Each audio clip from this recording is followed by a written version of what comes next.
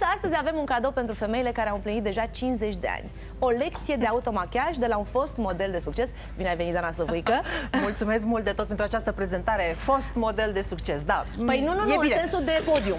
În sensul nu, de podium. Dar este foarte important pentru că în toată cariera mea de model am învățat să mă machez singură și am Păi asta învățat de la spun. niște profesioniști.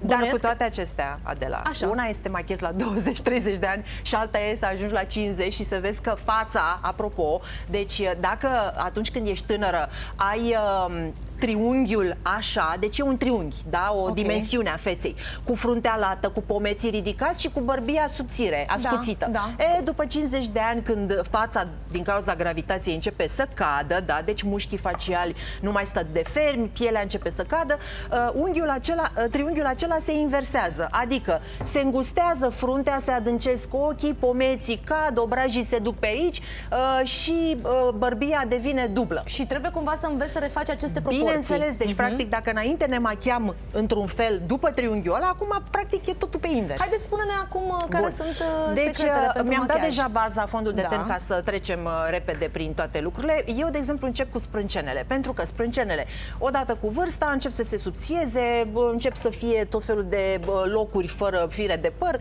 Deci, ideea este că sprâncenele definesc uh, trăsăturile feței și atunci eu încep așa, să marchez baza, deci încep cu uh, partea de jos a Cu un sprâncenei. creion de sprâncene. Cu un creion de În sprâncene, culoarea dar lor. atenție de culoarea lor, nici mai deschis, nici mai închis, da?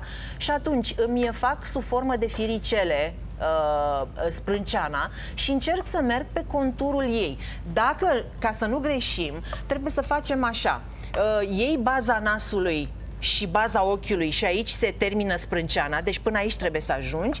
Baza nasului irisul, aici este unde Vârful. se ridică sprânceana și dacă facem așa, de aici pleacă, da? Deci ea trebuie să plece de aici. Și atunci, eu îmi fac aceste, eu acum ați dat seama că îmi cunosc foarte bine sprânceana, o înalți puțin, da, îi dau efectul de lifting, dar atenție, dacă atunci când eram tânără și aveam sprâncenele stufoase și mai lungi, mă duceam cu coada Mai- până jos, acum o las undeva mai sus de marginea ochiului, ca să dau efectul de lifting, da? Deci, din nou, pornesc cu baza, da? Definesc sprânceana cum vreau eu să arate, mă duc după urmele ei, deci nu fac uh, prostii de genul ochi mirați, sprâncene cu gen arc, nici sprâncene Angry Birds, da, foarte uh, apropiate aici. Mă duc pur și simplu după ea și încerc încet, încet să umplu și golurile, pentru că ele există, da? Și nu mai mă duc până jos, unde era ea, ea rămâne undeva aici, ca să dea efectul de Da. lifting, așa cum îți spuneam, da? Uh, bun, după care Uh, stai așa, așa. După care pornesc uh, cu ochii. Dacă în tinerețe îmi făceam ploapa cu partea deschisă aici, da? Și îmi făceam cozi și mergeam deasupra uh, arcadei, e, acum nu se mai poate pentru că am uh, pliuri aici, da? Deci sunt ridurile, deci ploapa a căzut și atunci nu mai îmi permit lucrul acesta, nu mai folosesc culori tari, nu mai folosesc negru, chiar și pentru smokey eyes, merg pe marouri, Marouri, da? Așa, și atunci o să folosesc, de exemplu, pentru că sunt îmbrăcată cum sunt, niște culori de-astea de Toamnă. primăvară-vară, da, uite, o să uh, folosesc acest portocaliu, îndrăznesc și îmi acopăr toată ploapa de data aceasta, da, atenție, lucru pe care nu-l făceam înainte. Uh, De ce? Pentru că dacă mi acopăr ploapa, dau culoare ochilor, da, și este efectul ăsta tot așa de lifting. Da, da, da, da, ok? Deci uh, merg pe uh, ideea de a acoperi pliurile alea care s-au făcut la ochi, că de asta e, încă n-am ajuns să-mi fac o blefaroplastie și atunci trebuie să folosesc uh, trucurile machiajului Să știi că mama mea și-a făcut și efectul a fost foarte bun. Da, sunt convinsă. Uite, de exemplu, femeile la vârsta mea au aici niște punguțe. Da. În uh, coada, la, la ochiul de aici, unde începe ochiul. Colțul intern. Deci, atenție, nu mai punem alb, nu punem lucios, deci nu punem nimic care să evidențieze deci tu și mai recomanzi mult. culori uh, mate. Da, deci totul trebuie să fie în culori mate. Nu mai folosiți culorile, uh, deci nu mai folosiți fardurile lucioase pentru că nu vă fac uh, niciun bine. Și acum vreau să adâncesc puțin uh, privirea și uh, merg pe tot așa pe culori naturale. Uite, pot așa să fac o, un blending, da? aici în adâncitura ochiului. Ce înseamnă blending? Adică amestecăm puțin uh, culorile, da, da? Uh, luăm excesul de praf, da, să nu fie foarte... Să nu pice, de uh, Să fapt. nu pice, da, și ușor, ușor, cu foarte multe... Uh, Tapotări? da, exact, ce bine că tu cunoști cuvintele astea. Păi, îmi, îmi, fac, uh, îmi fac acest, uh, acest contur. Atenție, nu m-am mai dus deci eu nu mi-am făcut, mm-hmm. vezi, l-am făcut în sus. Deci trebuie Da, să da, urcați da, da, tot timpul așa cu, cu pensula. Nu mai mergeți după ochi pentru că ochiul se duce în jos din cauza, așa cum am spus, gravitației vârstei și așa mai departe. Bun. Și acum, cu o, o culoare uh, tot așa, Mai nu deschisă. albă, nu albă, da, și niciun caz strălucitoare, aici, în zona de mijloc a sprâncenei, îmi dau așa puțin tel luminozitate. Da, Dar da, atenție, nu mă duc foarte mult pe arcadă, pentru că, din nou, arcada are tendința să coboare și atunci îmi iese și mai mult în evidență uh, efectul acesta.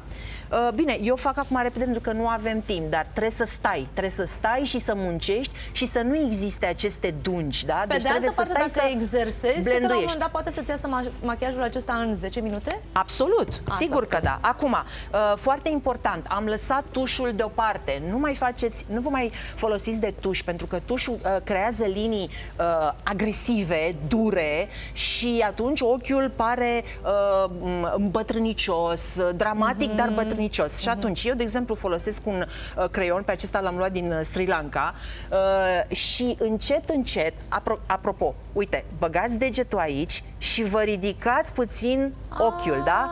Deci faceți așa, ok? De acolo și întindem pielea, cum ar veni. Întinzi pielea și ochiul automat se duce în sus. E, în momentul ăla, foarte puțin îți dai la capătul ochiului, fără să depășești ochiul, atenție, și atunci ai efectul acesta de lifting. Deci okay. ți-ai uh, făcut puțin, uh, ți-ai pus cu negru puțin pe la ochi, dar dacă am făcut așa, el s-a dus în sus, da? și eu da, da. merg pe linia asta, dar atenție, nu o depășesc, pentru că o depășesc, hup, Odată Da, ce da. ochiul a revenit, linia automat se Cade. duce în jos. Da. Și atunci ai acel efect de ochi obosit și căzut. bătrânicios. Uh, De asemenea, altceva ce am învățat, folosim uh, mascara. Eu nu sunt adepta uh, genelor false, mai ales ale așa gen fluturaș, pentru că încarcă foarte mult ochiul și se văd și mai Sunt mult vizibile. ploapele. Deci nu, dar se vede că ai vârsta pe care o ai. Poate chiar îți încarcă ani. Și atunci, eu, uite, asta am învățat de la Eugenia Enciu fostul top model, mama uh, Dianei Enciu, fabuloasa, da? Uh, a fost mentora mea. Deci mă dau uh, începând de la bază, da? Deci creez fundația acolo, întăresc baza genelor și pe care încet, încet, în sus, îmi dau cu mascara, după care aștept un minut și pe urmă mai îmi dau a doua. diferență este, Exact, se vede. vezi? A doua uh, pătură, ca să zic așa, Da, da, da, da, îmi dau încă o dată și pentru efectul dramatic, dacă vrem să avem gene lungi și dese, facem lucrul acesta, dar nu tragem de ele în jos, da? Tot în sus. Totul este în sus. Eu mă dădeam pe vremuri și pe jos, pentru că mie, eu am ochii mai mici, Mhm.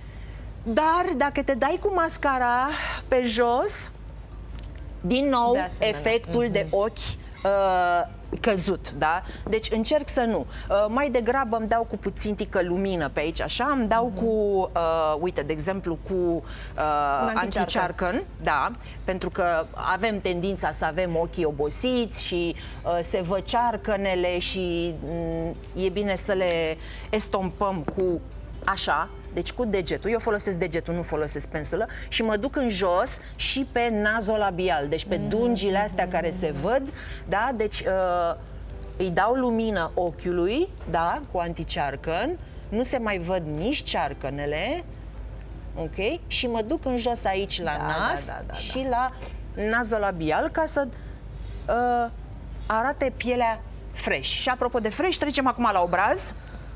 Bun. Dacă înainte, știi că e chestia asta. Fă așa și spun aici. Nu. Nu. Fă așa Aha. și punem aici. Nu. Nici Asta așa. e pentru 20-30 Și de că ani. acum cum facem? Nu. Acum pentru că triunghiul, da?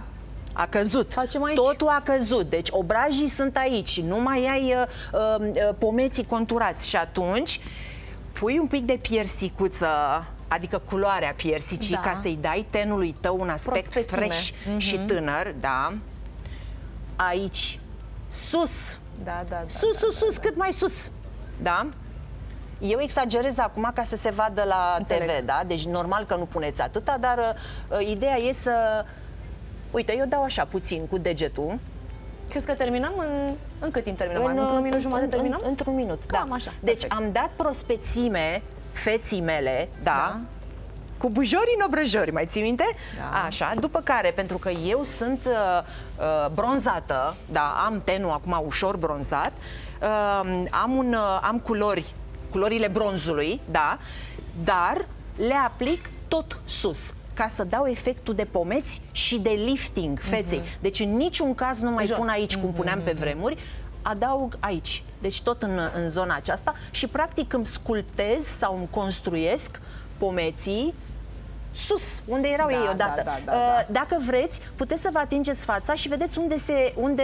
E osul acela, nu? Da, Unde unde, se este simte. osul și la, începeți de la capătul osului în sus, da? Perfect. Deci, Sunt foarte capătul curioasă osului buzele, cum în le sus. faci. Da, exact, știu. Asta este momentul în care trebuie să ajung la buze. Ok. Așa. Uh, buzele. Pentru că buzele se subțiază în timp, pentru că aj- uh, apar mici crăpături aici, da? Nu mai folosim rujuri uh, uh, cu aspect, cu textura Cremos. aceea grasă și cremoasă, pentru că nu ne mai permitem, ci unele cu aspect mat, da? Plus că uh, rezistă și mai mult, pentru că cele lucioase se duc în acele... Se pierd în uh, se striațiile pierd în acelea. striațiile alea și uh, nu, nu sunt uh, foarte ok. Uh, nu vă mai dați cu uh, creionul, faceți doar un contur al buzelor discret, deci nu cu roșu, cu negru, cu mov, cu maron în niciun caz și nu mai mergeți deasupra buzei, pentru că dacă Se faceți... va vedea foarte tare. Absolut. Și încă un secret, pentru că buzele au tendința să meargă cu colțurile în jos din cauza gravitației, Mhm. da? Încercați să mergeți mai sus puțin, să faceți așa un fel de inimă. Știi? Buzele sub formă de inimă și atenție, nu vă mai duceți pe deasupra și nu le mai întindeți până aici la coadă, la, co- la colțul gu- gurii, vă duceți ușor înăuntru. Aici Da, da, da, da, da. aici, înăuntru. Și atunci dai volum. Dai volum. Ok, eu o să fac repede acum așa, inclusiv în partea de jos. Ok, îmi țin degetul mic aici ca să am ca un fel de compas și să am uh, siguranța că nu fac uh, uh, buzele inegale. Ok, și acum, cum le umplu? dau culoarea asta că e în ton cu bluza și observați că este o culoare plăcută, Da, da, da. piersică, da, care întinerește și dacă vrem să părem că avem buzele mai voluminoase, vin cu un alt uh, ruj mai deschis Da. și fac așa. Da, arată foarte bine. Uite și- așa. Da. Excelent arată. Excelent. Ei, bine, jumătate Chiar de ai față fost, așa și chiar jumătate de față sfaturile așa. tale au fost extrem de utile, sunt Sper. absolut convinsă și eu îți mulțumesc că de fiecare dată ne arăți că prin asumare și acceptare poți să fii superbă la orice vârstă. Absolut, da. Mulțumim foarte mult, Dana. Cu drag!